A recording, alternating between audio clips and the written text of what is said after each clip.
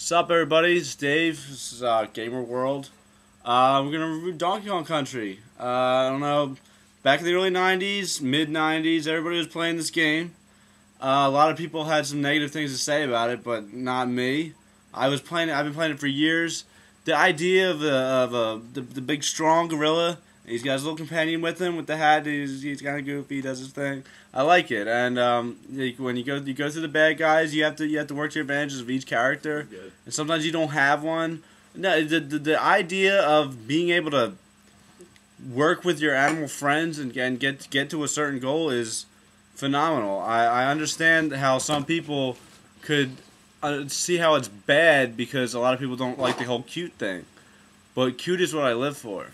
You can tell that just by watching this video. But Oh, um, talk about Donkey Kong. yeah, man. Up, man? Uh, do we want we, I want the viewers to actually like know what we feel about the game. I absolutely love Donkey Kong, man. One of my favorites. Two was good. I think two might have even been better. Three, not so much. Yeah, no, I, I, I haven't played three in a long time, so I can't really comment about three. Two is two is an Yo, excellent you want game. water, bro? Yeah, thanks, man. Well, Corey's going to get the water, Uh, I'm gonna lay down the law about Game World. Game World is about the expression of video game fantasy. It's a it's another world that, that someone can express There you go, themselves in. Oh, thanks, dude. You can express yourself through a character and be a hero for a day. Or usually for me it's probably about four or five hours. I'm, I'm I've been doing this for a while, but you can actually get a goal and you can save the princess. You can get your banana hoard back. Something everybody everybody strives No, for. bro, I don't think it's a princess in Donkey Kong. I was using uh, no, generalization, man. He's getting into semantics. Here's the hero of the game. Here's the hero of the game. All right, let's get let's. I want bananas. Ah. oh, it's K. Rool. I'm gonna jump on him repeatedly until he All right, you guys just see that the hero of the game was here.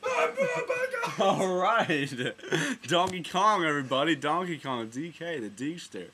All right, so let's get into the actual game. You start off, you start off with Jungle Hijinxs. That's where you can get some lives if you ever need lives. You can come back, you can get lives. Uh, you go, you go through, and you end up going through. You go through a snow world, you go through a forest world, you go through industrial worlds, all in search of your banana hoard, which is held by Evil K. Rool. Is. He's a bad guy. Thank you, Donkey Kong. Oh, bro, oh, I left my cigarettes upstairs. I don't, I don't smoke fucking cigarettes.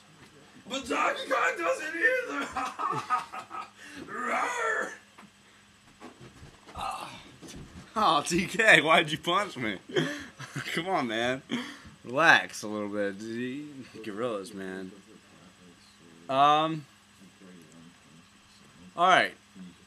The next segment of our show is going to be getting into the actual breakdown of levels of the game. Uh,